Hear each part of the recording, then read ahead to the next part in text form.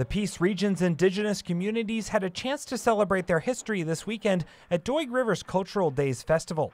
The event ran from Friday to Sunday, complete with a traditional tea dance, a horsemanship demonstration, and an axe throwing competition.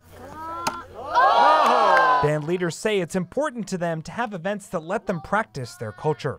Doig is definitely connected to this past. I mean, we that's all we that's all we do is practice our culture. And right now, the generations coming up, we uh, we take them out hunting and and trapping. And right now, we got a bunch of events. We're building cabins and to uh, so we could trap in the in the wintertime. One of the facilities built in time for the festival was a bush camp where tribal elders prepared dried buffalo meat for attendees.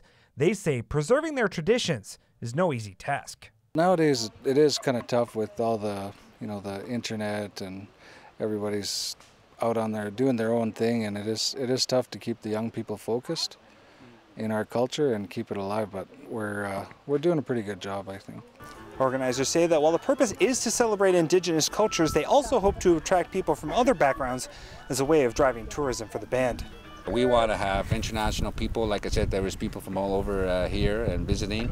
Uh, our goal is to turn it into a cultural tourism um, uh, for, the, for the community, and you know, uh, we also do cross-cultural training to you know tribal council. Uh, uh, cross the cross-cultural strategy is about you know creating employment for our community. Based on the success of this run of the weekend, the band says they plan to make it an annual tradition. I think we're going to do it bigger and better we're going to advertise more, uh, you know, bigger prize money, and you know, so we want to make sure that everybody has a great time.